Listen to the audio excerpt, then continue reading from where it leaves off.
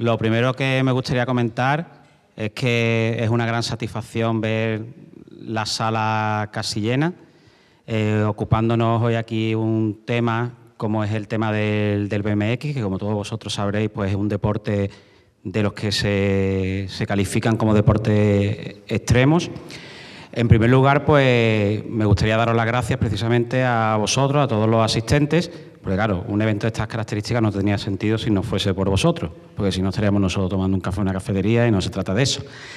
Eh, me gustaría dar las gracias a los ponentes, a los verdaderos protagonistas de hoy, que son las cuatro personas que, me rodean, y luego eh, pues contaré un poquito más acerca de las vidas, de la biografía de cada uno de ellos y del motivo por el cual hoy están aquí eh, sentados. Me gustaría, por supuesto, dar las gracias a San Telmo por cedernos eh, sus instalaciones para celebrar la que ya es la tercera edición del Festival Moment. Y, por supuesto, me gustaría dar las gracias pues, a toda la gente que está detrás de Moment y de Stan Magazine, pues por organizar este tipo de eventos y por hacernos este gran regalo a todos aquellos que somos amantes, pues en este caso del BMX, de deportes o bien de manifestaciones culturales que no son tan mainstream, por decirlo de alguna manera. Eh, yo creo que el título de la charla de hoy, o el título que se le ha dado al coloquio, es totalmente ilustrativo del tema que vamos a tratar a lo largo de la, de la hora siguiente. Eh, la charla se titula La revolución sobre ruedas, una historia del BMX en Málaga.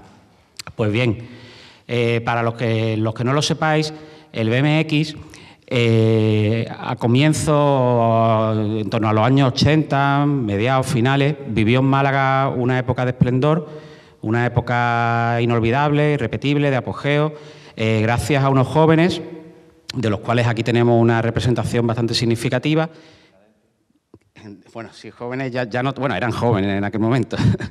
bueno, pues vivió un momento de apogeo gracias a algunos jóvenes que, como digo, tenemos aquí una representación de ellos bastante significativa, que se entregaron en cuerpo y alma a, la práctica del BMX.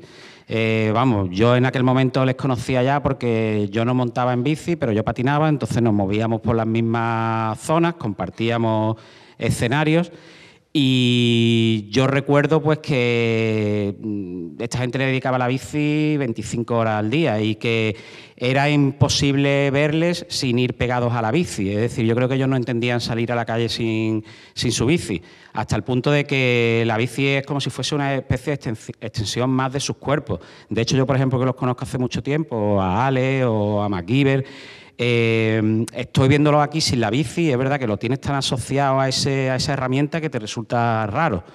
Eh, desde mi punto de vista, y ya digo, viéndolo desde el punto de vista de un skater, que de alguna manera lo veía desde fuera, pero eso también te aporta a lo mejor una percepción que puede ser un poco más interesante o diferente a la que pueden tener ellos. Yo considero que ellos tenían tres cualidades que para mí eh, eran sumamente importantes y destacables. Por una parte es el haber detectado cuando tenían 13, 14 años, eh, pues una pasión, haber encontrado una pasión, eh, luego haberse volcado en ella con, con, la disciplina, con la entrega, con el sacrificio propio de un profesional o de una persona más adulta y luego, además de tener esta capacidad ¿no? para volcarse en una pasión y para hacerlo con disciplina y con, y con entrega, eh, yo también considero que ellos fueron muy valientes, en el sentido de que ellos rápidamente se dieron cuenta pues, que en un determinado Málaga se le quedó pequeña, que evidentemente en otras ciudades de España, en otras ciudades de Europa o incluso en Estados Unidos, eh, este deporte pues contaba ya con más adeptos, este deporte tenía ya eh, estaba más considerado a nivel institucional, había más sponsors, había más campeonatos, entonces ellos ni corto ni perezoso, compensando la falta de, o las carencias económicas que evidentemente unos chicos de 13 años, de 14 de barrio tenían, compensándolas con mucha pasión, pues ni corto ni perezoso, se iban donde fueran, dormían a la intemperie y bueno, eso sí me gustaría que ellos mm, luego, cuando les toque su turno, nos contaran alguna anécdota al respecto. Otra cosa que yo creo significativa es que la generación de ellos y ellos en concreto han jugado un papel crucial a la hora de permitirnos entender la bicicleta de una manera diferente. Es decir, hasta que aparece esta generación se consideraba que la bicicleta era algo que todos teníamos cuando pequeños, que primero la montábamos con dos ruedecitas, luego con uno, y que luego ya iban pasando los años, la olvidaba en un trastero y como mucho, siendo mayor, la podías utilizar para desplazarte al trabajo, pero simplemente como un medio de transporte. Entonces ellos eh, convirtieron la bicicleta en un, en un estilo de vida, convirtieron la bicicleta en un medio de expresión, convirtieron la bicicleta en algo que es con lo que se podía hacer acrobacia, es decir, estiraron las posibilidades de lo que se podía hacer con una bicicleta hasta el infinito. Yo recuerdo muchas veces que, es decir, para eso hay que tener, hay que ser, como yo digo, un genio. Es decir, porque yo me acuerdo que yo decía, bueno, una bicicleta te monta en el sillín, pedalea, pero cuando de repente tú te ves a uno de estos tíos que están montados al revés, en la parte delante del manillar, con la bicicleta levantada, eh, dando vueltas, tú dices, esto, mm, ¿cómo se le ocurrió a esta gente hacerlo? ¿no? Entonces yo creo que ellos tuvieron, han tenido el mérito de, hacernos entender a aquellos que en aquel momento pensábamos que eran niños grandes con bicis pequeñas, que creo recordar que esto es un apelativo que se usó para referirse a ellos, pues hacernos comprender que la bicicleta es mucho más que un juguete.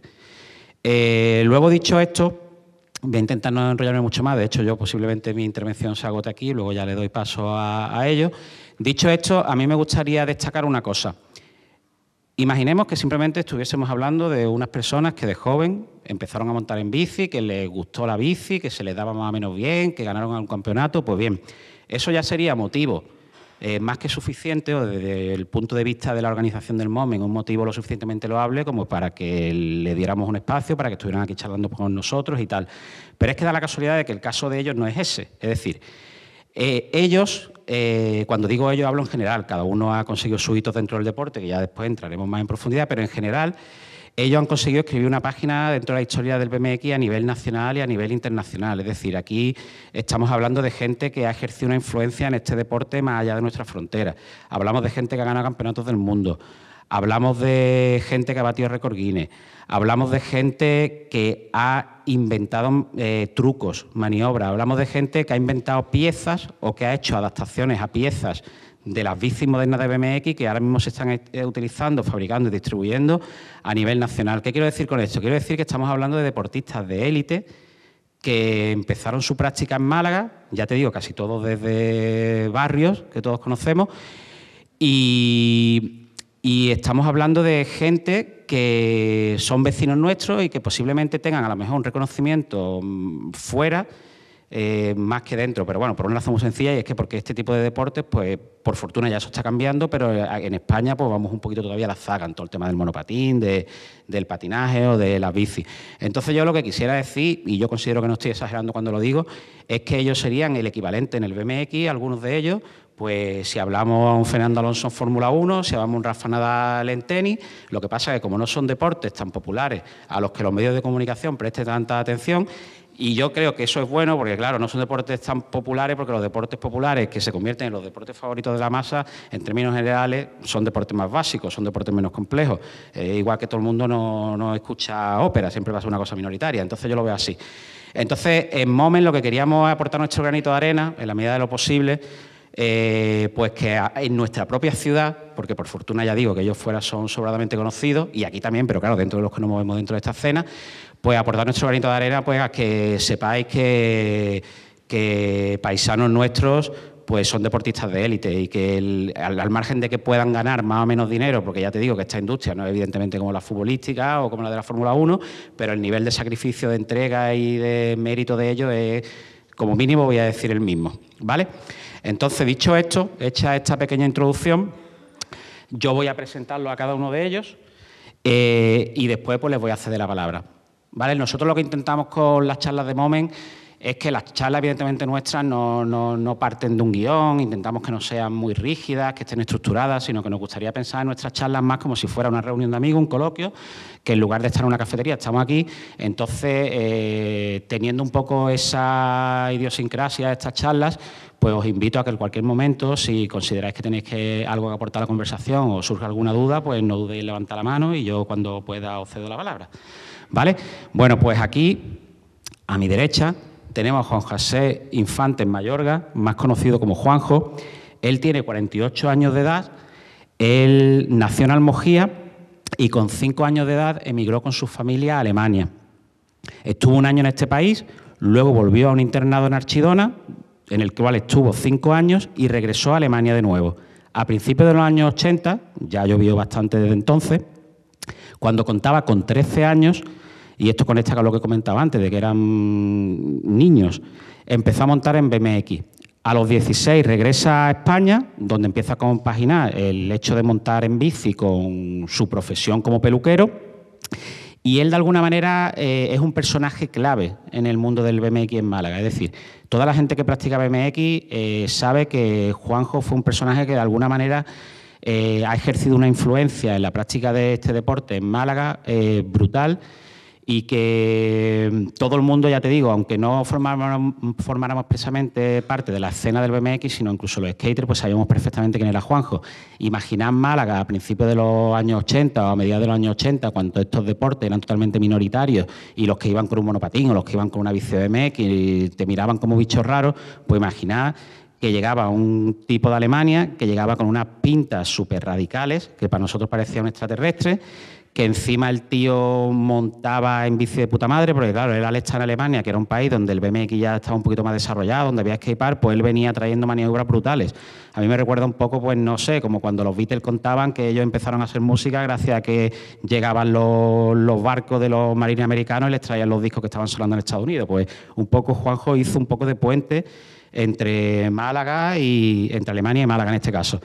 Eh, yo quisiera destacar que a mí me resulta siempre mucho, muy curioso las casualidades de la vida, las cosas del destino, que hacen que hechos que no dependen de nuestra propia voluntad, como es el caso de que los padres de Juanjo, cuando él tenía cinco años, decidieran irse a Alemania, haya cambiado no solo la historia de su vida, sino que haya cambiado también por, por extensión y de manera indirecta la historia de todos estos chicos que gracias a eso tuvieron un, contacto privilegiado con el BMX y ahí me quisiera yo encontrar, quizá ellos me podrán dar la razón después de quitármela, una de las razones por las que este deporte aquí experimentó luego un desarrollo tan, tan rápido.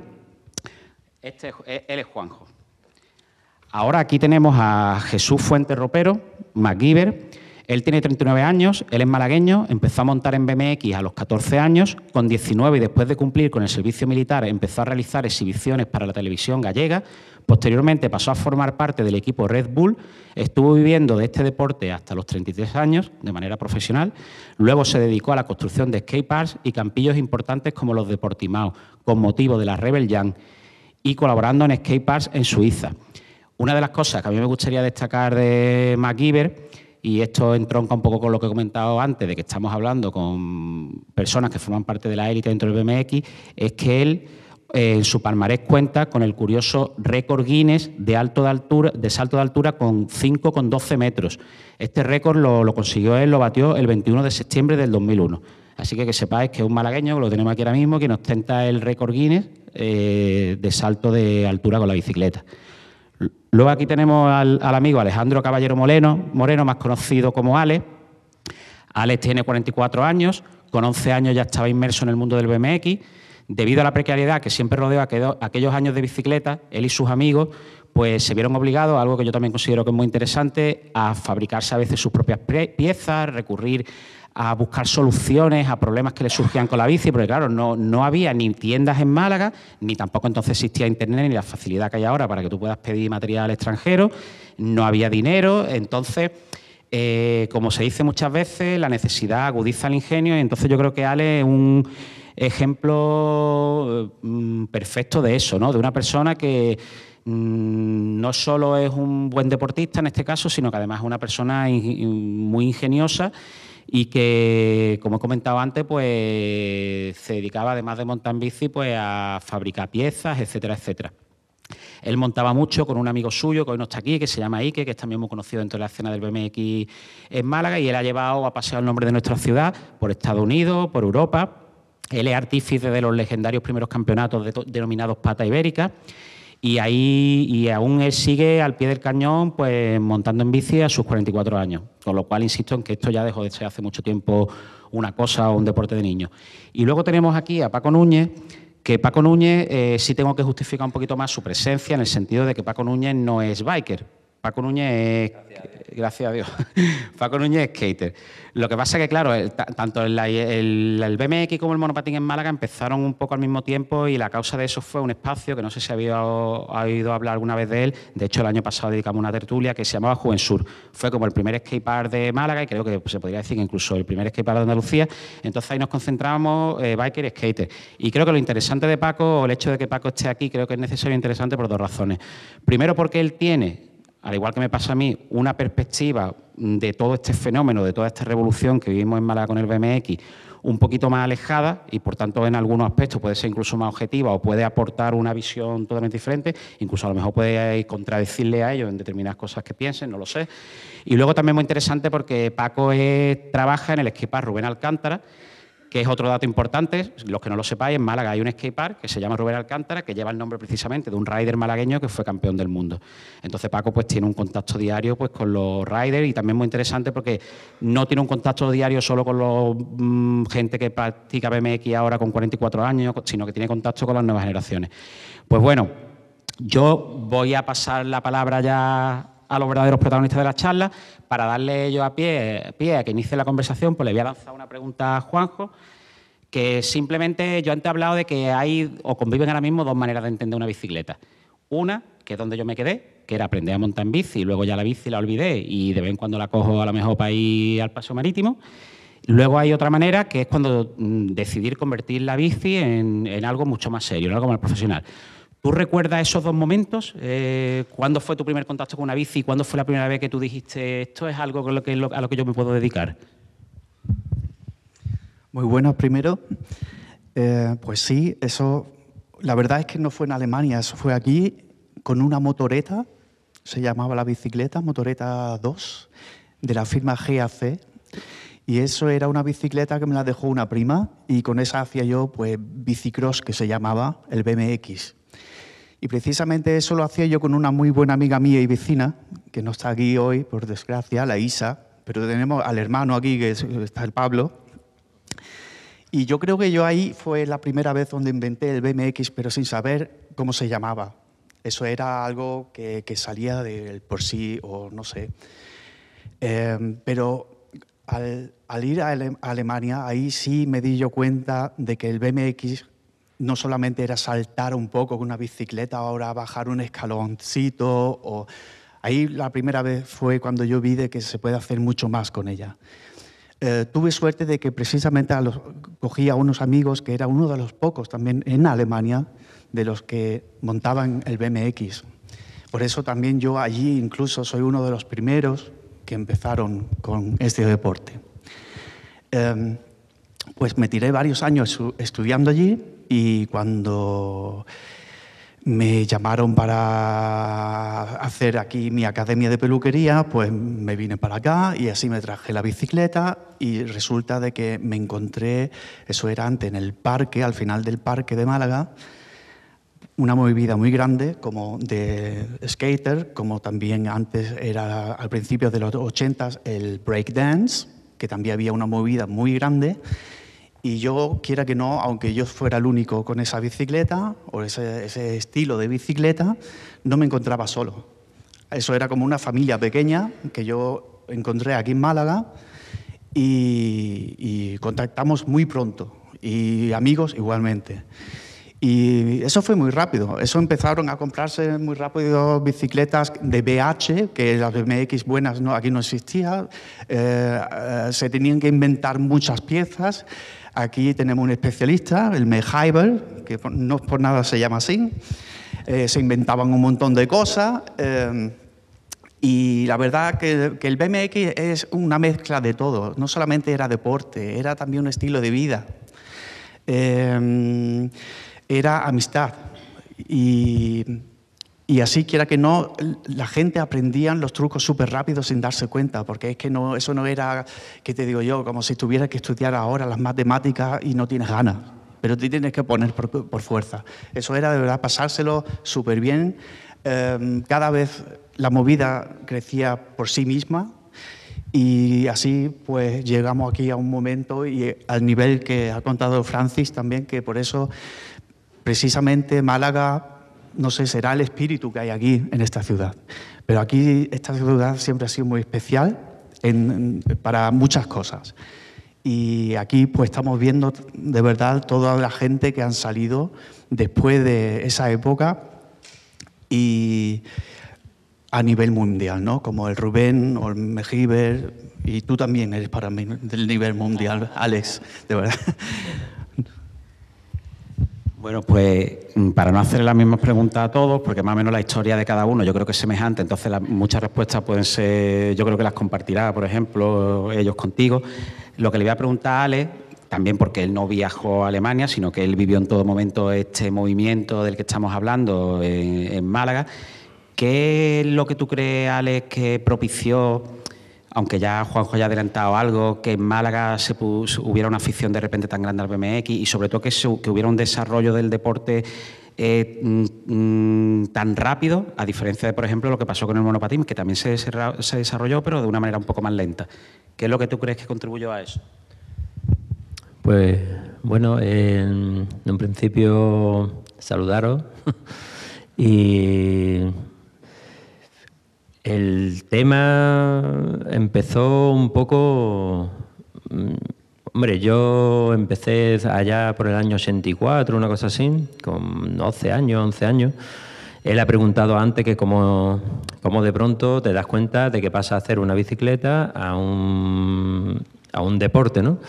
De toda la vida, yo recuerdo desde que empecé, a mí me gustaba saltar con la bicicleta, me gustaba hacer piruetas, hacer cosas y en un principio empecé básicamente haciendo piruetas y llega un momento en que estás saltando, estás viendo de que a lo mejor dado un salto de un metro y de pronto llega un, si se puede decir aquí, un, uno con pinta de grillado, que sería este que tengo a la derecha, porque en aquel entonces yo no sabía ni que existían los colores fluorescentes, eh, o ropa con colores fluorescentes, ¿no? Y de pronto me, encuentro a este con una gorra fluorescente, amarilla fluorescente y una ropa pintada por él fluorescente entera y pegando botes con la bicicleta y si yo saltaba a un metro 75 centímetros me lo veo a dos metros, dos metros y algo y, y, pegando unos botes bestiales, ¿no? Entonces de, buenas a primeras digo, hostia, joder, y yo me creía que, que, esto era lo máximo, porque allí no había internet, no había revistas, no había nada, no había conexión con el mundo exterior. Y resulta que no, que ves que no hay límite. Que dice, hostia, pues si él puede llegar a dos metros, ¿por qué yo no? Ahora empezamos de buenas a primeras, va pasando el tiempo, entrenando y demás, y, de pronto el compañero se nos va otra vez para Alemania, que de hecho hay que agradecerle, ha venido expresamente para esto desde Alemania y se va, y solo para este evento. Y de buenas a primeras veo que nos hacemos unos monstruos saltando y a la vez mm, ya empieza ya empiezas también, porque aquí no hay muchas rampas, y empiezas a hacer piruetas que se llaman estilo a flat, el estilo se llama flatland, que es lo que yo el resto de mi vida he hecho siempre, flatland. Entonces, de buenas a primeras viene este de Alemania y nos encontramos de que pegamos unos botes que no vea y él ya no salta. Es lo que hace flatland. Y nos quedamos todos un poco diciendo, hostia, pues nos vamos mal encaminados, porque nosotros también hemos derivado el deporte al flatland, que es hacer vueltas, piruetas, eh, andar con la bici para el lado, para atrás, para adelante. Entonces... ¿Hay dos modalidades? ¿Se puede decir el vert y el flatland o hay más...? No, en la, en la bicicleta hay muchas modalidades. Eh, en este caso estamos hablando del flatland, que es como lo que estáis viendo ahora en la pantalla, que hace piruetas sobre la bici en un sitio llano con posapiés y hacer todo tipo de vueltas, acrobacias, llamémosle, como dicen la gente, actos circenses, ¿no? O algo así, ¿no? Pero bueno, es un deporte como en regla. Después está BERT, que se practica en los halfpipe, que es una rampa en forma de U, suelen medir 3 metros, 3 metros 50 aproximadamente, y la gente pues sale por los aires otros 5 metros por los aires y hacen, sueltan manos, pies, hacen 540, 720, son una serie de trucos diferentes, ¿no? Después tenemos street, que es en la calle, haciendo todo tipo de barandillas, haciendo como un estilo al skate, que andan con barandillas, saltos, eh, todo tipo de obstáculos que se encuentren, mini ramp, que son otras rampas más pequeñitas, y todo lo que tenga que ver con rampas y... un momento porque no tengo ni idea de lo que me ha dicho. ¿El salto al agua? Ah, otra, otra cosa típica que hacíamos era saltábamos en el morro de Málaga, le poníamos botella a la bicicleta, eh, la liábamos con botella y para que flotara y saltábamos al agua, poníamos una rampa y saltábamos al agua haciendo todo tipo de piruetas locas. Una manera buena también de entrenar, pero de manera menos lesiva, ¿no? Claro, ahí le tirábamos los trucos más difíciles, estilo a backflip, que son saltos dando volteretas con la bicicleta y, demás, ¿no? Ah, mira, por eso lo has dicho, eso es en el morro de Málaga saltando. Después, ahora le paso el micro a algún otro compañero que ya me estoy enredando demasiado, pero quería deciros algo. A mí en un principio me habían comentado la organización de montar el, el coloquio este y me invitaron. En un principio no sabía si sí o si no, pero os digo, si me hubieran dicho de ir a la escuela de abogados o algo a dar un coloquio de este tipo, no hubiera venido. No, o sea, no hubiera, no hubiera ido a darlo. ¿Por qué? Porque no me siento, no, veo ninguna relación con ese tipo, el deporte este con eso. En cambio, en este, en este caso, yo considero de que la escuela de San Telmo trata con, con artistas, con eh, tenéis algo que ver con nosotros, porque nosotros de la nada, ¿vale? Y sin esperar nada a cambio, hemos, hemos hecho lo que nuestro cuerpo nos ha pedido y estamos haciendo algo y hemos hecho algo durante toda nuestra vida que nos ha gustado a cambio de nada, porque yo en un principio no buscaba ni ser un profesional de esto, ni vivir de esto, pero he estado toda mi vida trabajando, o sea, haciendo este deporte y lo quieras o no, aunque creas que económicamente o algo no te ha llenado o no te ha funcionado, sí psicológicamente ayuda bastante y, toda, toda mi vida ha girado alrededor de la bicicleta. Entonces os digo, si a lo mejor dediqué algún tipo de arte en concreto que os guste o cualquier cosa esa, ponerle empeño, aunque no, aunque no veáis que no vaya a ganar un duro, pero ponerle empeño porque al final la vida te da vueltas y te das cuenta de que, de que puede ser que pienses que estás equivocado, pero estás haciendo realmente lo que debes de hacer, lo que tu cuerpo te pida. Es un magnífico consejo. Yo, ese lo tomo yo también para mí. bueno, pues ahora le voy a hacer una pregunta a MacGyver.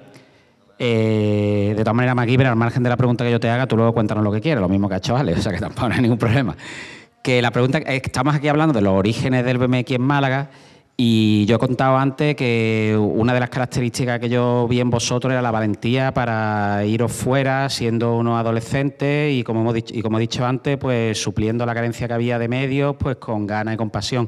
¿Cómo recuerdas tú o recuerdas especialmente algún viaje o cómo organizabais alguna anécdota significativa?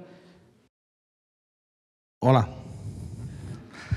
Eh, no sé, los primeros viajes, yo recuerdo de ir en el Renault 5 de Alex, por ejemplo, bueno, antes de eso, de ir en tren, por ejemplo, de tirarnos 14 horas en un tren. Sí, sí, por ejemplo, recuerdo, mi primer viaje fue a Bilbao. Y fue a Bilbao con Miguel, con Pablo, que están ahí sentados, con Alex y otros chicos más que no están ahora mismo aquí. Bueno, ya son viejos, ¿no? Pero... Y entonces recuerdo que yo era pequeño, yo tenía 14 años. Y claro, mi padre, pues claro, yo tenía el pelo largo, tenía una pinta muy chunga. Bueno, igual que ahora, ¿no? Y entonces yo recuerdo eso, que le decía a mi madre, mamá, quiero ir a Bilbao con ellos porque van en bici y tal, porque ellos me invitaron para que fuera con ellos, ¿no? Y ahora mi madre decía, pregúntaselo a tu padre. Yo le decía a mi padre, yo le decía a mi madre, mamá, yo, como mi padre vea la pinta que tiene esta gente, no, me dejan salir de aquí, ¿sabes? Y recuerdo eso, que mi madre decía, ¿pero tú también al espejo? Y decía, sí, pero yo, ¿tú sabes quién soy yo? No... Bueno, total, que no me enrollo más. Que la historia fue que mi padre me llevó a, coger tren y yo cuando yo tenía que hablar con este hombre, con, con Ale, con, con Pablo. El Ale tenía una perilla aquí de pelo como muy raro. el, eh, Pablo tenía el pelo largo, una boina de esta de, de Vision Streetwear de la época, ¿sabes? Unos pantalones rotos, todo. Y yo decía, verás tú mi padre cuando vea a esta gente, me coge del pescuezo y me lleva a mi casa. No, pero al final tuve la suerte de que mi padre pues, o sea, me dijo, no, habló con ellos. Bueno, nos vemos, venga, tened cuidado, vale. Pues nos, monté- nos montamos en el tren y la primera vez que nos bajamos creo que fue en Bobadilla, por ahí. Y corriendo fui llamando a mi madre por teléfono, al teléfono, ya entonces no había móviles, claro. Y mi madre me decía, no, es que todo, ¿sabes? Digo, le preguntaba a mi madre, ¿qué ha dicho papá de, de esta gente? Dice, "Ne- no ha dicho nada. Digo yo, seguro, Dice, "Ne, solo que todos tienen mejor bici que tú. Y yo, bueno. Y nada, y el viaje pues era increíble, bueno, lleno de anécdotas porque claro, yo imagínate yo con 14 años, ellos tendrían 17, 18 años y sin dinero, sí, sí, gente mayor. y sin dinero, sin nada, sin ropa, sin, va, íbamos, vaya. y montando en bici, algunos con rajas en la cabeza, otros venían cojos ya desde Málaga, pero bueno, la verdad que era bastante divertido. Eran eh, eh, los viajes eran diferentes a los de ahora. La verdad que ahora no te imaginas a un chico de 14 años coger un tren, irse a Bilbao con varios más descabezados que ellos, ¿sabes? más locos que ellos. Ahora, si tú le dices a un padre de que tu hijo vaya a Bilbao en tren con 14 años, probablemente diga que no. Sí, es es va a ser diferente seguro, pero de todos modos es que yo creo que hay demasiada sobreinformación sobre la vida, sobre las cosas. La gente tiene mucho miedo porque hay mucho Instagram, mucho Facebook, muchas, ¿sabes? muchas redes sociales, las cuales hacen que la gente tenga miedo de todo. No estamos- Exactamente, no se, no se mira lo bueno, se mira lo malo. Pero bueno, en- en ese aspecto que me estoy desviando, eh, el tema de los viajes con la bici, pues era- éramos una familia. Cuidábamos uno de los otros, aunque siempre nos subiéramos de, de cachondeo, pero siempre estábamos cuidando uno de los otros. Si pasaba algo malo, no iba a haber ningún problema porque estaban tus colegas allí, ¿sabes? Siempre entiendo que ya estableceríais conexiones con gente de toda la ciudad que luego venían aquí a Málaga. Por supuesto, siempre, por ejemplo, tenemos muy buena relación con gente de Bilbao, eh, porque, desde, por ejemplo, de esa vez que fui, ¿sabes? De, bueno, que fui, que fuimos todos, ¿no? Y conocimos gente que desde entonces somos muy buenos amigos, siempre hablamos, no pasa un mes, aunque estemos lejos y apenas tengamos, ¿sabes? No tengamos tiempo, pero no pasa un mes que no hablemos, nos sugeramos algo. Por ejemplo, uno de los chicos de Bilbao, de, que también es de los de toda la vida, me estuvo escribiendo y me da recuerdo para ti, Juanjo, el Shelby. Sí, sí.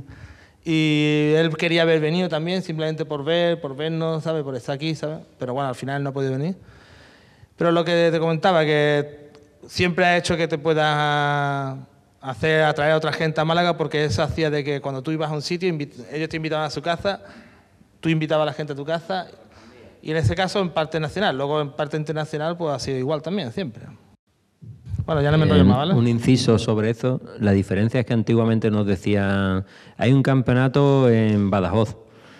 Y cogíamos todo y nos buscábamos la vida para ir, sea como sea. Y hoy en día tú le dices a, algún chaval de los que ahora monta que son buenísimos, que no te voy a decir que no, que hay mucho nivel, y tú le dices que hay un campeonato en Badajoz y lo primero que te dice, bueno, ¿cuánto dinero hay en premio? Oye, es que si no hay mm, 2.000 euros en premio, yo no muevo un dedo o yo no voy. Entonces viajan de otra manera. Nosotros íbamos a Badajoz a lo mejor un autobús cargado de gente y hemos dormido con cartones en la calle. ¿eh? Y cerca, cerca ese año éramos más, éramos cerca de 30 personas y dormíamos en la calle con cartones. ¿eh? Y con una- con- con una no, mochila. O sea, no os digo que lo hagáis, pero. Y menos en Badajoz, porque era diciembre. Y yo me acuerdo que más frío no he pasado en mi vida. Íbamos con la mochila con tres latas de, de atún, una barra de pan y venga, todo el fin de semana, haya muerto. Y luego llegaba y el otro te cambiaba las latas, ¿sabes? Así viajábamos, sin dinero.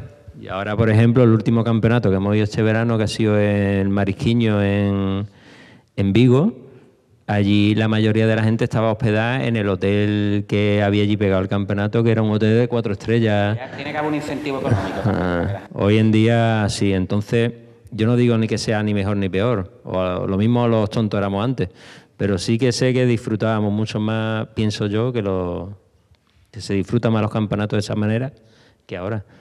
Ahora era una creo que hay un como poco un poquillo más- más de envidia.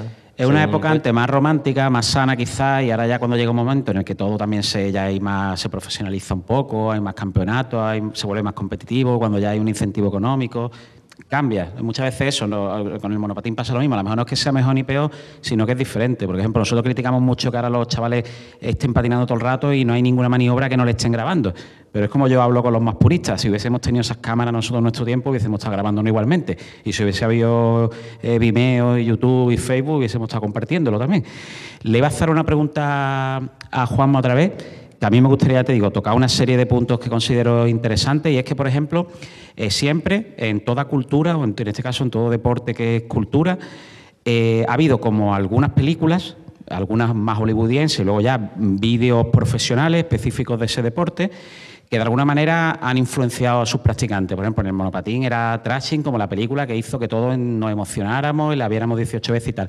En las bicis que teníais referentes vosotros, o algunos que cambiaran o marcaran un antes y un después, un vídeo de una determinada firma o de un determinado biker.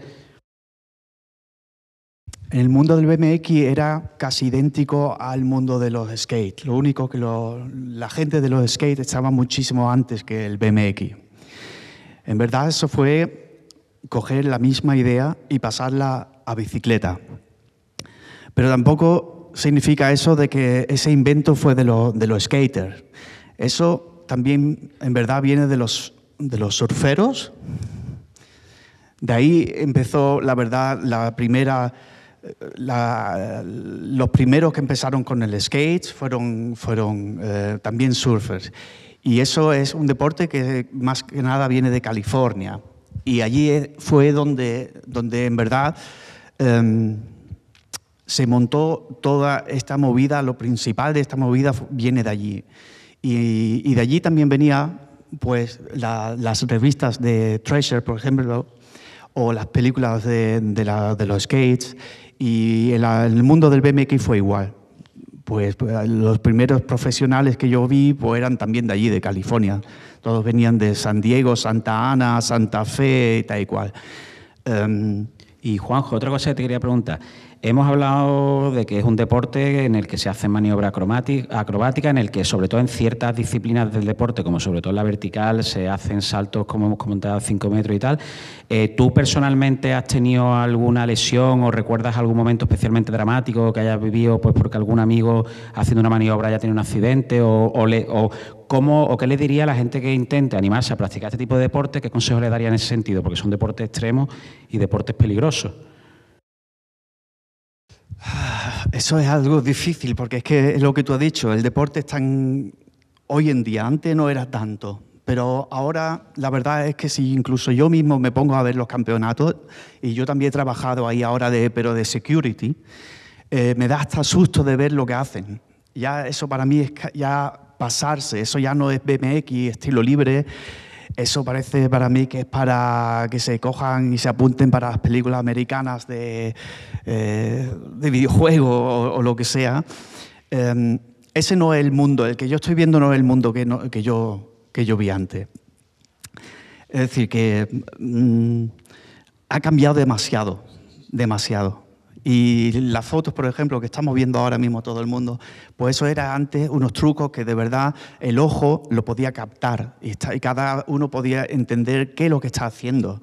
Hoy es tan rápido, es tan alto, es tan, eh, tiene tanta velocidad, todas las cosas, que ya apenas uno no sabe siquiera eso que es difícil o no es difícil, porque es que ya no lo, no lo podemos coger con, la mente lo que está haciendo. Sí, de todas maneras, yo hace poco leí una entrevista a Rubén Alcántara y es verdad también que es lo que él comente que pasamos cualquier tipo de deporte, que uno no llega de la noche a la mañana a hacer un mortal como el que decís, sino que hay una evolución, una preparación y entonces, claro... Por, eso tu pregunta es difícil de contestar. Porque si tú me dices que tú qué le aconsejarías a uno que está empezando ahora, yo pues la verdad le diría, mira, si tú eres mi hijo, tú con eso no empiezas. ¿No? Porque es que te da susto, claro. Sí.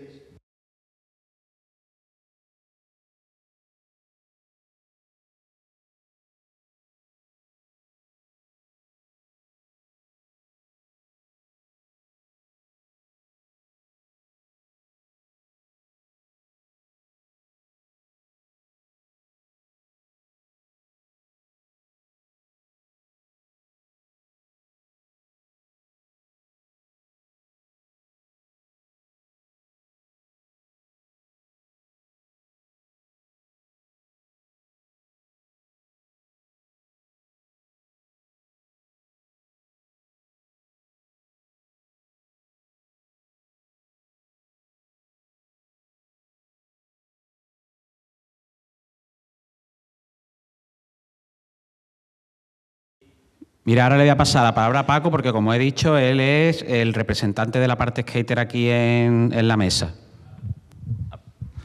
Bueno, simplemente te voy a contestar con una fotografía que tenía por aquí, si la encuentro, y si no, bueno, te lo voy comentando. Eh, problemas entre seres humanos ha habido toda la vida, desde que existían los seres humanos. Eh, cuando hay en una habitación cuatro personas y surge una pelea, se pelean esas cuatro personas que están en esa habitación.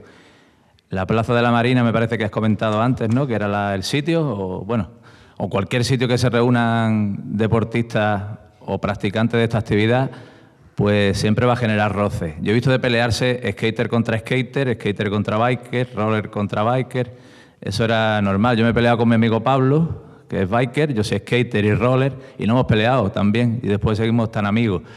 Eh, claro, bueno, discutido, vamos a ver. Las manos no porque tú me ganas, pero bueno.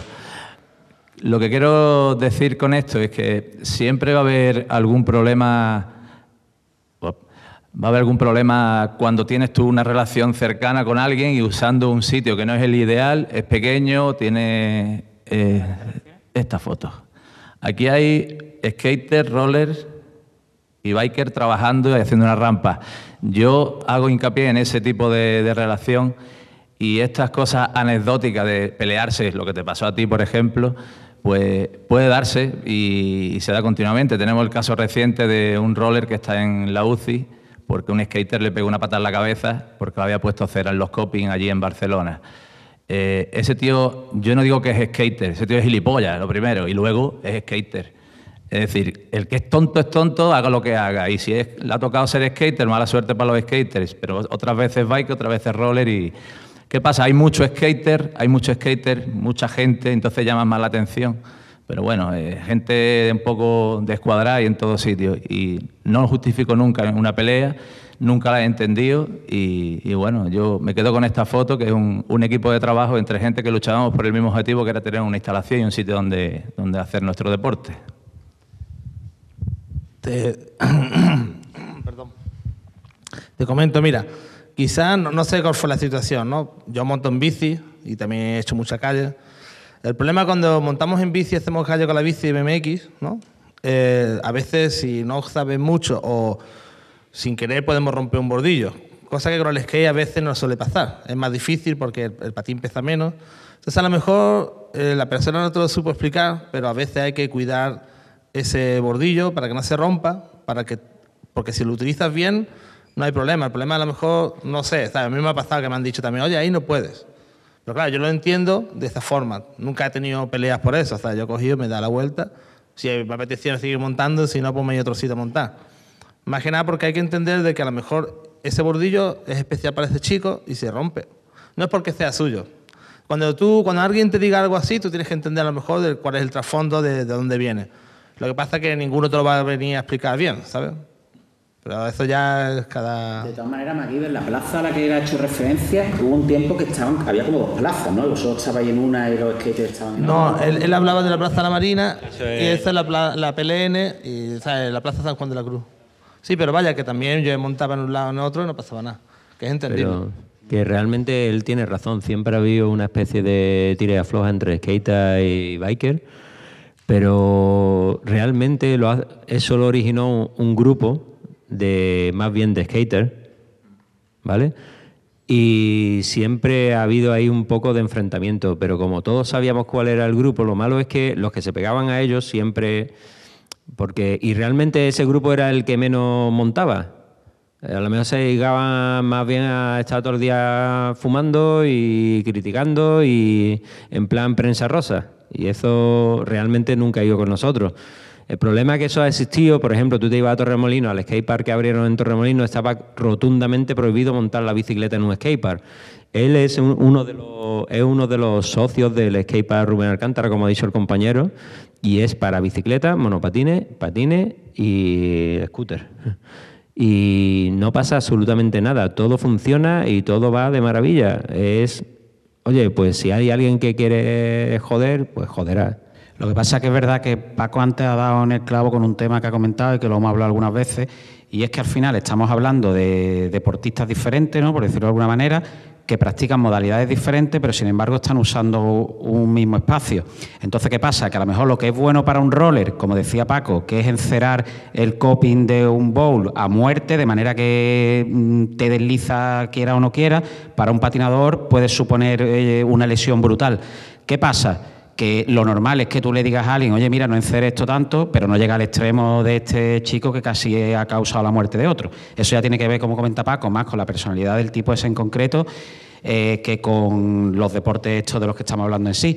Y yo, para centrar un poquito más el tema por el tema de la BMX, porque es verdad que estos temas a los que tú has hecho referencia se dan y además tú lo has vivido en primera persona, pero yo también me gustaría quedarme, porque yo también he, convivido con biker y tal, con la parte positiva, que yo, por ejemplo, recuerdo cuando nosotros empezamos, que lo que hacíamos era que yo le cogía la bicicleta, por ejemplo, a él y él cogía mi monopatín. Y estábamos ahí cada uno haciendo pirueta con la herramienta del otro. Eh, una cosa que yo quería preguntar ahora, para seguir ahondando en el tema del BMX. Eh, ahora mismo, eh, en España, ¿han cambiado tanto las cosas como para que una persona eh, o, alguien pueda dedicarse al BMX de manera profesional o siempre va a ser algo que va a tener que compaginar con otra cosa o te va a tener que ir a Estados Unidos? Pues le iba a pasar el micro al compañero, lo que pasa es que de España puede hablar poco. de Alemania seguro que te, vamos, y te admito de que sí, que en Alemania pueden vivir del BMX, ¿no? Porque tú ¿tienes vinculación ahora mismo, Juanma, con la, con la bici o simplemente a nivel de amistades o cuál es tu, tu vida ahora mismo allí en Alemania? Bueno, yo en el mundo del BMX yo ya no estoy muy bien metido. Yo tengo solamente los amigos de antes y todo lo que tiene que ver con el mundo nuevo, la verdad es lo que te he dicho, es todo muy extremo. Incluso la manera de, ser profesional, de cómo ganar dinero, aquí o eres uno de los que está súper alto o no eres nadie. Aquí la nota media pues se está perdiendo en este deporte, pero no solamente en, este deporte. Yo eso lo observo también en, todas las otras cosas. Em, sí, yo tengo ahí amigos, me encuentro, pero hoy es distinto. Vamos a salir, nos tomamos una cervecita, vamos a comer, vamos, ya eh, somos todos, mm, como él ya dijo, el Francis, tengo 48 años. Yo ya no soy tan joven y como veis, tampoco tengo la pinta para coger una bici, ¿no? Em, mis amigos son pues, iguales, están casados, tienen hijos. Eh, la vida cambia, pero está bien que cambie. Yo, la etapa que yo he tenido aquí con, mi gente, yo me lo he pasado muy bien y me, recuerdo muy a menudo, pero con ganas, porque era un, tiempo muy bueno lo que yo pasé aquí. Em, todo lo que a partir de ahora está pasando en el mundo del BMX, yo ahí la verdad es que no puedo hablarlo, porque es que yo ya no estoy dentro. Y yo lo único que sé que lo poco que yo estoy observando eh, es eso, que todo es muy rápido, todo es muy alto, todo es extremo. Y por eso, si tú dices ahora, si aquí uno piensa de ganar dinero con esto, pues no sé qué es lo que tiene que hacer y hasta dónde tiene que llegar para que lo cojan por una firma, que lo patrocinen y que le den encima de todo dinero. Porque es que, perdona, em, estoy hablando de un tiempo que no era lo mismo, que había muy pocos BMX, que claro, es más fácil de coger a uno que es bueno, que ahora que hay tantas personas y tanta gente por todo el mundo, pues la cosa se ha puesto muchísimo más difícil, claro. Es como en, toda la otra. Si viviste, eh, eh, vamos, yo sé que tú eh, conociste Sur que era el espacio este en el que había una serie de instalaciones, había un Harpay que primero estuvo fuera, luego estaba dentro, que además esto está muy cerca de la estación de autobuses, que aunque el edificio esté medio derruido, sigue estando allí. Y en un momento pues fue un espacio que además de estar la gente que patinaba, que montaban bici, pues también había una discoteca, era un sitio bastante pintoresco, que podía entrar cualquiera libremente, los padres con su hijo y tal. Antes has comentado también del parque. Eh, ¿Esas eran las dos únicas zonas por las que tú te movías en tu época o qué recuerdos tienes de Juventud? Em, lo que es hoy el encuentro de los skate parks, como eso no, existía, pues era la, misma ciudad de Málaga, era nuestro, nuestro spot. Toda la ciudad, cualquier bordillo, cualquier muro, cualquier, todo lo que había lo cogíamos. Y porque es que no teníamos apenas nada. No, con, con el ayuntamiento era súper difícil de hablar y de darle, por ejemplo, de entender o de, hacerle, de comprender de qué, de lo que estamos hablando. El Paco, por ejemplo, yo lo conocí y él ya llevaba un montón de años intentando de que le montaran, aunque fuera unas cuantas rampitas, que al final dijeron que sí, y la verdad que nos pusieron al lado del parque, no sé eso qué era, un charquito, ¿no? La pistita esa roja. Eh, bueno, son las cosas que hacen todo el ayuntamiento, que sigue vigente, que ven gente patinando y dice voy a hacer una pista para ellos, pero no le pregunta a los, que, a los principales implicados y hacen lo que le da la gana. Allí hicieron, iban a hacer una jardinera, nos dijeron literalmente eso, iban a hacer una jardinera, pero como vimos gente patinando, pues lo pusimos un poco inclinado y con una curva y aquello no tiene ni pies ni cabeza. De hecho, la gente salía, se caía a la carretera y bueno, era un poco peligroso. Sí, pero porque la, ciudad tampoco te daba la posibilidad y menos los dineros. Porque también un skatepark, las cosas como son, eso no es gratis. Eso cuesta un montón. Y aquí se habla de bastante dinero. Y para hacer un proyecto tan grande, pues necesitan a gente detrás tuya que te ayuden y que te digan que sí, que tenemos aquí el dinero en mano y que lo vamos a hacer. Pero esa gente solamente lo haría si saben de lo que estamos hablando. Y es el problema que teníamos antes. Antes nosotros hacíamos unas cosas y, decían a lo mejor, esta gente está un poco loca, o, pero no sabían lo que estábamos haciendo. Antes aquí solamente existía el fútbol. Y si yo hubiera, o hubiéramos nosotros ido a la ciudad y decir, mira, que queremos el campo de fútbol número 54, nos hubieran dado el dinero. Pero para un skate park, hacían así, decían, ¿eso qué es, tío? Y nosotros le enseñábamos la foto, íbamos con los vídeos, las revistas, pero nadie se podía imaginar de verdad de que eso iba a funcionar. Hoy en día, por ejemplo, en Fuengirola hay un skatepark muy bonito, aquí hay un skatepark muy... He estado dando una vueltecita con el coche ayer, incluso en Antequera, en un pueblo, tiene un skatepark muy bonito, en todos lados hay skatepark. Y antes, por un skatepark, como por ejemplo en Antequera, que no es tan grande como el de este, pues hubiéramos matado. Eso es un mundo fantástico. Y la verdad es que el nivel de aquí también, aquí se acostumbran, creo, también la gente mucho, pero eso no es normal lo que está pasando en Málaga. Lo que hay aquí es casi ya único. Hace poco he estado en los Estados Unidos, también he estado en Venice Beach, que es donde la verdad ahí está lo más importante, de ahí ha nacido todo y tiene un skatepark también súper bonito en la misma playa. Pero lo que es el ambiente y, la vida, el movimiento y todo este color que hay aquí, eso aquí en Málaga es único. Para mí, yo creo que si me hacen la pregunta en el futuro o ahora, ¿qué es la ciudad más potente en cosas de skate o BMX? Yo diría que es Málaga. Yo creo que en aquella época que costaba tanto trabajo de mostrar, o sea, de pedir lo que queríamos y convencer a la gente, a, las instituciones, queremos hacer esto, queremos que nos lo construyáis, construyáis. Yo creo que hay un paralelismo incluso con muchos de vosotros que estáis estudiando ahora aquí en la Escuela de Arte, que cuando tenéis vuestras ideas en la cabeza y las queréis desarrollar, os cuesta mucho pedir a lo mejor ayuda. Tenéis la ayuda de la escuela, por supuesto, que os están formando y demás. Y, a la hora de llevar a cabo un proyecto, por ejemplo, Cucu, que es el, espíritu y el alma de aquí del Moment, cuando tiene que llevar algo a, a una institución, le cuesta mm, convencerlo. Nosotros sustituíamos eh, nuestra precariedad con imaginación y echábamos muchas horas y hacíamos a lo mejor una octavilla y las pegábamos en los árboles y poníamos a un tío patinando, uno con bicicleta, eran cuatro rayas y demás, y poníamos difícil pero no imposible, y era haciendo referencia a que queríamos un espacio para nosotros que era difícil de construir porque no había dinero, pero no era imposible. A través de eso estuvimos dando guerra y al final conseguimos Juvensur, que fue un poco un punto de encuentro y no era una maravilla, pero fue un inicio y una chispa que, cambió todo el, panorama de aquel entonces. Y yo creo que todavía eh, debemos muchas cosas a aquella reunión que teníamos de biker, skater, rollers y continúa, ¿no? En vuestro caso yo me imagino que será igual, tendréis muchos proyectos y muchas cosas que a lo mejor podéis o queréis llevar a cabo y encontréis puertas cerradas por muchos sitios, pero bueno, no os tengo que animar porque seguro que tenéis la imaginación funcionando a mil por hora y ponerlo en marcha y luchar por ello, como antes que decía mi compañero Ale, que cuando tú descubres una pasión, eh, la llevas dentro hasta que te mueras, vamos, y, eso tiene que dar resultados y, el trabajo es lo que, lo que funciona. Y no me voy a poner a llorar ahora, ¿no? Después hay una, una pregunta que no hemos respondido, que es sobre el tema profesional del BMX aquí en España, que cómo está, porque hemos hablado de Alemania, pero no de España. En este caso voy a cederle la palabra a MacGyver.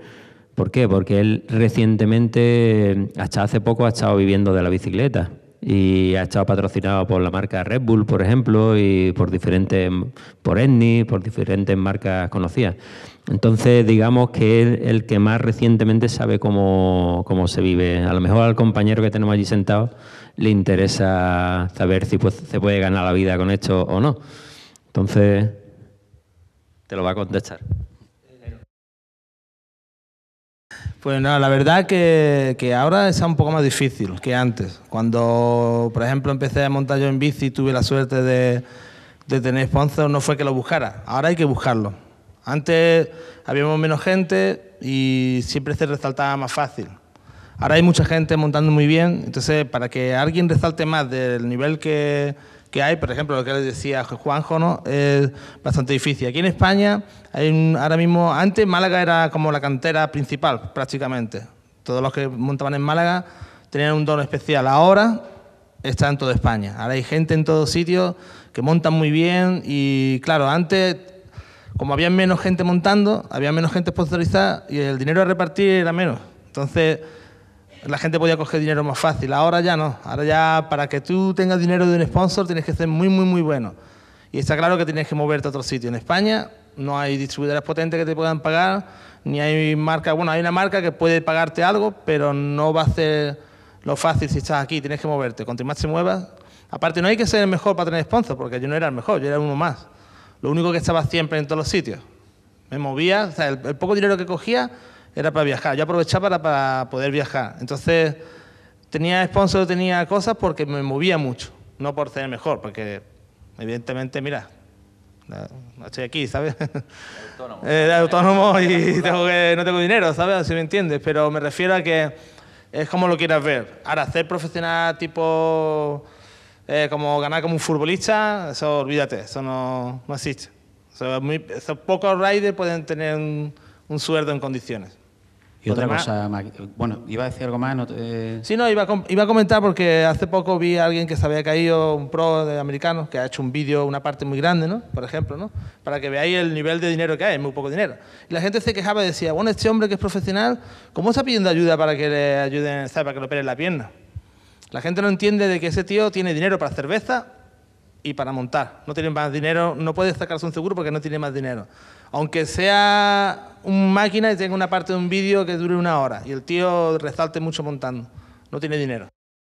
Sí, eso es lo que yo comentaba antes al principio, me parecía triste porque realmente la única diferencia, en este caso entre vosotros y, deportistas que son que se dedican al fútbol, al tenis y tal, que son de élite, es que el sacrificio, la entrega, el riesgo es igual o mayor, pero luego no hay dinero. Yo, por ejemplo, tengo el caso de un amigo mío, que es compañero mío de trabajo ahora, que ha jugado la selección nacional de hockey, ha ganado campeonatos de Europa para España y tal, y ese tío ahora que está jugando pues las, selecciones que hay ahora para veteranos, ellos tienen que pagarse todos los desplazamientos, para eso no hay ningún tipo de dinero ni de apoyo, y hablamos de campeones de Europa y es así. Sí, no, funciona, con el BMX prácticamente lo mismo, a lo mejor puedes conseguir alguna ayuda, de que algún sponsor te, te ayude en un viaje, te pague algo, a lo mejor tú tienes varios sponsors, pues uno te paga el hotel, otro te paga el viaje, y tú lo que dices, el hotel, no, dame el dinero, que yo me voy a dormir a la calle, ¿sabes? Y con ese dinero bebo más cerveza con mis colegas, ¿sabes? Por decirte algo. Es así de fácil. Y funciona. Estudia. Sí, sí. Realmente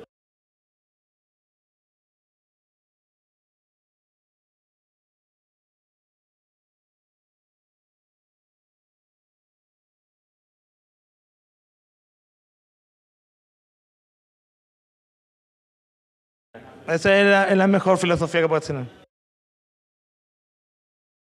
Pues esa es la mejor filosofía que puedes tener, disfrutar del momento, ¿sabes? Conocer gente fuera, que es lo que hemos hecho siempre, como cuando hemos viajado, meternos en la casa de la gente, luego la gente venía aquí y se tenía que meter en nuestras casas y así... Una cosa, Maguibe, perdona que te interrumpa. Estando tú aquí, no sé si te apetecerá más o menos contar esa historia, pero no mm, queremos dejar de pasar la oportunidad de que nos cuentes cómo fue lo del récord Guinness. Es decir, tú decides presentarte a eso, te invitan, ¿cómo fue aquella historia, aquella película? Bueno, eso es un poco, a ver, os voy a explicar, la televisión es un tongo, todo.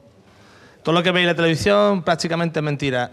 Eh, eso es lo de primero, ¿no? Eso porque lo del récord Guinness, por ejemplo, fue una movida de que como yo montaba para Red Bull, era el primer programa de televisión que hacían el récord Guinness en España y querían hacer algo espectacular.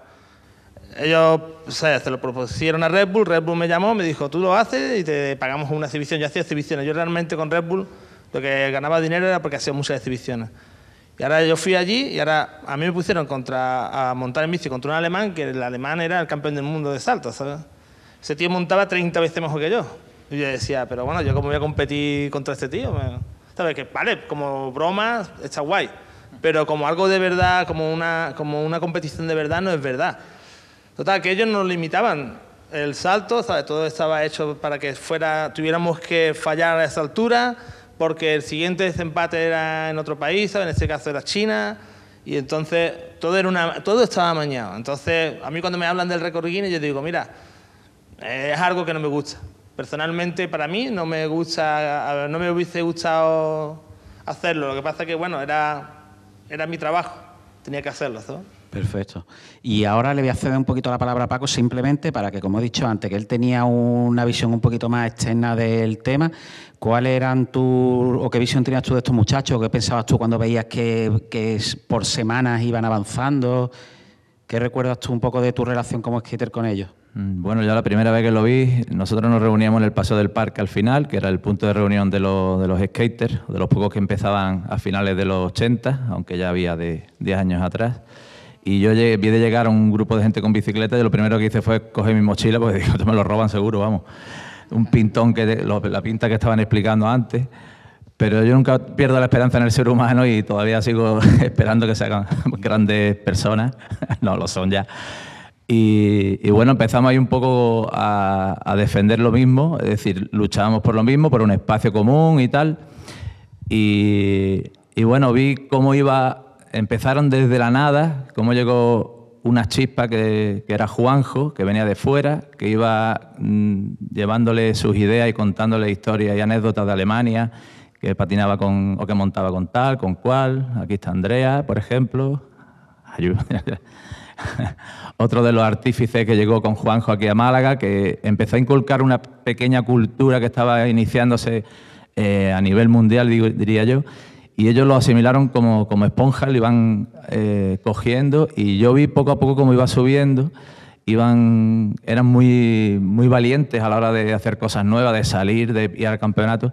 Pero yo resaltaría que lo principal que, que ha hecho que Málaga en el BMX sea una potencia mundial fue que no era un boom como pasó con el skate, era un grupo más reducido de amigos, eh, se llevaban estupendamente a pesar de los problemas que tuvieran unos con otros, eran una familia y siguen siendo una familia, y esa familia se desplazaba a Badajoz, como ha dicho, o se alquilaba una furgoneta en junio y se recorrían Europa entera con tres duros, y además tres duros, o sea, de, comer en la calle bocadillo, de ir a 90 por hora para no superar el par motor máximo del coche, para no gastar más, toda la historia es. Y, esa precariedad yo creo que también la ha hecho unirse y llegar lejos. Eh, yo cuando se habló de hacer esta charla, eh, el primer nombre que salió fue Rubén Alcántara. Y yo no entendía, digo, Rubén Alcántara es el primero que tiene que estar aquí. Pero yo creo que hemos, hemos huido un poco de lo obvio. Rubén Alcántara ha sido dos veces campeón del mundo de, BMX, es malagueño. Eh, le da nombre al skatepark donde yo trabajo, es uno de mis socios. pero yo creo que lo interesante de esta charla de que estén ellos tres, yo soy un simple espectador, eh, es que no era solo Rubén Alcántara el que está ahí, en la punta del iceberg, pero debajo eh, hay gente que ha proporcionado el BMX mundial, no estoy hablando de aquí, de, España, de Málaga o de, España, al BMX mundial ha aportado trucos nuevos. Este hombre vio a un profesional en un campeonato, me lo ha comentado en alguna ocasión, que estaba haciendo un truco que sacó él aquí en Málaga, por ejemplo, o algo así, ¿no? Si no recuerdo mal, o algo así por el estilo. Eh, Eh, quiero decir que el grupo, el grupo ha aportado mucho a, la escena mundial con, su, con, su, forma de hacer o su forma de estar. Y eso la fuerza lo daba el grupo ese tan compacto que aún sigue, que es una familia y que sigue todavía. Yo soy primo de ellos. Eh, quiero aclarar que yo no inventé el truco. El truco era un truco malagueño.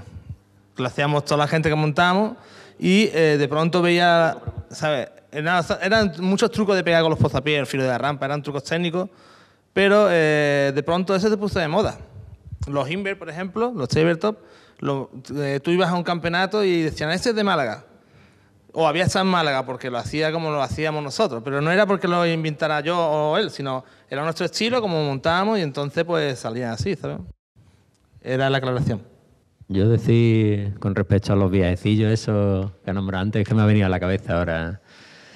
Porque, como bien has dicho, alquilábamos una furgoneta, bueno, alquilado entre comillas, porque le empezamos a vender la, moto al que nos alquilaba la furgoneta, de que íbamos a llevar carteles suyos por toda Europa para que nos saliera gratis. Y el primer año no coló, pero después ya sí coló el, resto de años. Entonces nos íbamos un mes entero a vivir por Europa, y íbamos a todos los campeonatos, a lo mejor íbamos a Alemania, visitábamos a este hombre, y guardábamos dinero hasta Holanda. Y diréis, bueno, ¿hasta Holanda por qué? Porque nosotros llegamos a Holanda sin dinero ni para gasolina. Solo aquí comprábamos la comida, la echábamos dentro de una caja y comíamos en hornillos en la calle, dormíamos en la furgoneta en la calle donde pillábamos. Y en Holanda llegábamos a Ámsterdam, allí en la plaza de Dan, en una de las plazas de allí céntricas, y hacíamos shows con la bicicleta y hacíamos saltos, exhibiciones y demás. Y en un cuarto de hora, pasando la gorra, sacábamos cerca de 60 euros. Y cogíamos, nos lo gastábamos todo, llegábamos a Holanda y recuperábamos dinero. Hacíamos, pero hacíamos cuatro o cinco shows, pillábamos cerca de 200, 200 y pico euros y gasolina para volver para eh, España. Y imagínate cómo vivíamos y sin teléfono, sin móvil, sin nada, un poco a lo loco. Bueno, pues ya para ir finalizando, para que tampoco, bueno, tampoco hagamos esto muy, pesado, bueno, que yo creo que hasta ahora no lo está haciendo a jugar por las caras que veo, no veo así como a nadie con los cerrados ni nada, pero yo voy a aprovechar una cosa, me voy a bajar de aquí un momentillo, espero no caerme, y es que aquí, evidentemente, aparte de los alumnos que estáis, hay mucha gente que está vinculada con el mundo del BMX que, al igual que ellos, podrían estar ahí arriba, pero no están. Por ejemplo, tenemos el caso de Miguel, tenemos el caso de Andrea, tenemos el caso de Pablo, que han estado también vinculados a la bicicleta de diferentes maneras, porque por ejemplo en el caso de Pablo también ha estado vinculado pues, desde el punto de vista de la industria también, ¿no? con los pros y los contras que puede tener a veces, y tratar con los clientes, que al mismo tiempo son tus amigos. Yo quería que tú nos contaras algo de eso, Pablo, cómo es tener, cuando tú decidiste tener una tienda y tal, y que los dos si queréis, que los conocéis perfectamente y habéis vivido muchas cosas con ellos, les preguntéis lo que os dé la gana.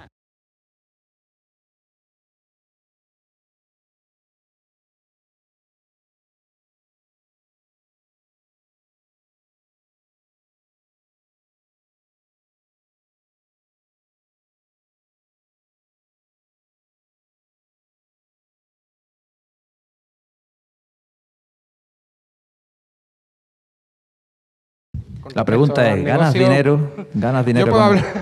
trabaja mucho y se gana poco, ¿no? Eso sí. bueno, no sé, yo he vivido el mundo del BMX, aparte de montando y viajando, como lo han contado ellos, y el crecer del BMX aquí en Málaga, también lo he vivido desde el inicio de un negocio. Para que haya un negocio, primero tiene que haber un mercado a quien venderle, pero en aquella época ni siquiera había un mercado a quien venderle. Entonces fue un poco complicado, pero podéis establecer un paralelismo, digamos, con lo que estáis haciendo y lo que estáis estudiando ahora mismo. El que haya estudie pintura, el que estudie escultura. Tiene que haber un mercado que se tiene que crear con un entorno. Un entorno se crea colaborando y haciendo cosas para que crezca. ¿no? Es lo del bordillo que decían ellos antes. Eh, se iban a hacer una rampa, pero hicieron una pista de patinaje. ¿Vale? No era el mejor de los sitios, pero flipábamos en la curvita que ya quedaba el bordillo, tío. ¿Sabes? Eh, lo disfrutábamos de esa manera. Entonces, no sé, a mí un día me dio por montar una distribuidora y me dio por montarla por envidia. Mira tú por dónde. A ver, una vez me vino un colega, un buen amigo que patina de aquí de Málaga, el Payaré, y vino de Barcelona y me contó, nos juntábamos mucho, ¿no? La gente del skate del BMX y me contó, no ves, estaba en casa de un chino allí en Barcelona, no ves, tiene una distribuidora. Y no sé si fue envidia, pero por decirle algún nombre, ¿no? Digo, hostia, pues yo quiero una. Y entonces empecé con Juanjo, entre los dos nos pusimos manos a la obra y, y montamos una distribuidora, un inicio de un negocio, hasta lo que es hoy día, ¿no? Entonces, eh, los negocios son como todos los negocios, pero lo particular es cuando lo vives desde que no hay mercado, no hay gente, no hay piezas donde conseguirlas, no tienes ni idea de cómo se gestiona nada y todo eso pues es una experiencia en la vida que la puede transmitir a muchos otros aspectos, porque es un aprendizaje. Entonces, pues bueno, hay subidas, bajadas, momentos que se pueden aprovechar pero es solo una parte que físicamente te abarca a lo mejor 12 horas del día, pero mentalmente la bicicleta o la afición que tú tengas te abarca las 24.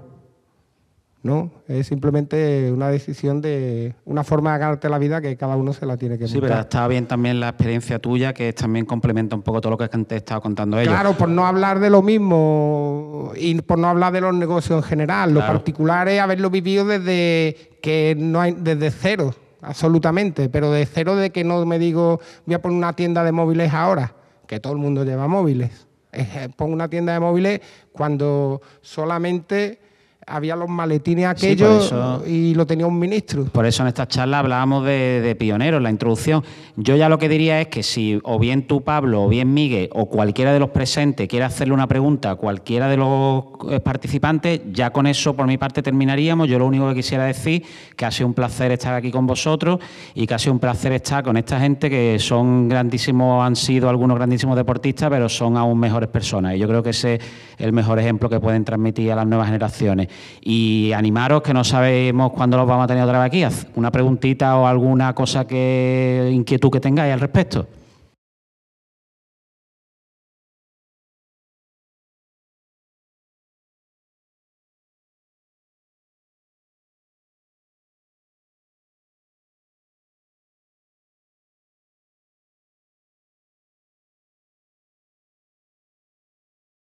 ¿Montado?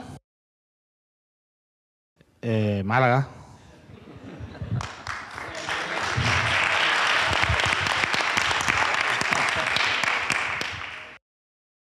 Pero mi país favorito es Nueva Zelanda, ¿eh? Ah, feliz cumpleaños. Bueno, pues gracias a todos. Gracias a todos, gracias a San Telmo, gracias al Momen y sobre todo gracias a estos pedazos de monstruos.